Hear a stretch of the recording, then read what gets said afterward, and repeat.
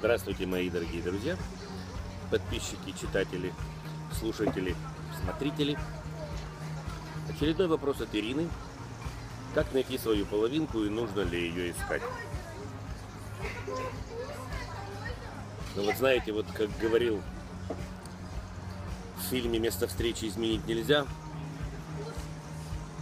вы же меня этим вопросом просто в тупик загоняете как найти свою половинку и нужно ли ее искать.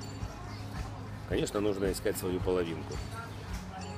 Дело в том, что каждый человек приходит на планету Земля и несет в себе 300 миллионов энергии.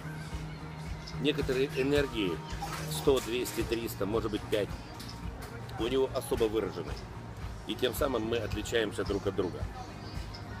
А все остальные энергии 299 990 они одинаковые. И вот если ты нашел человека, у которого вот эти пять энергий совпадают с твоими, вот это и есть твоя половинка.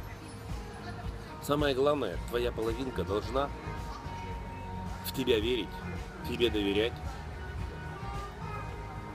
во всем тебе помогать и во многом соглашаться.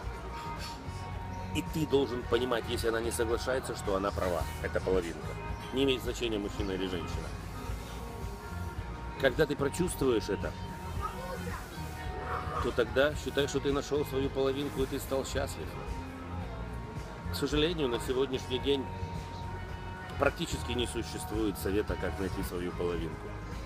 Только одна пара на миллион сходится, живет до конца дней своих, любит друг друга, никогда не изменяет друг другу, живет в мире согласия, любви и счастья.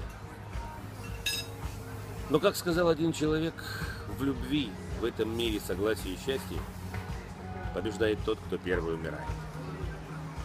Как это не парадоксально звучит, но я считаю, что вот Черномырдин, которого когда-то считали, двух слов связать не может, вот он был счастлив. Его вторая половинка, его жена, она ему во всем помогала.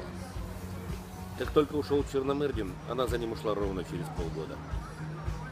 Вот она из него сделала настоящего мужчину, настоящего политика.